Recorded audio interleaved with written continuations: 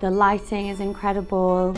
I can't, can't give anything away, but the lighting is just amazing. The, like the small subtleties that you see throughout, it's just, it's beautiful. It's, it's magical. The costumes are incredible. They're so beautifully detailed. The pride they have in the costumes on this show is like nothing I've ever seen. From the shortest of scenes to the dresses that get worn the most, you know, the witches' dresses, all those, um, EC, Emerald City, oh my god, like those green, oh, they're just so good. But Glinda, I mean, it's, it's really hard to pick a favourite as well, because you're like, oh yeah, I love this one, and then you see the next one, and then you get the next one, the next one, and they all make you feel really different.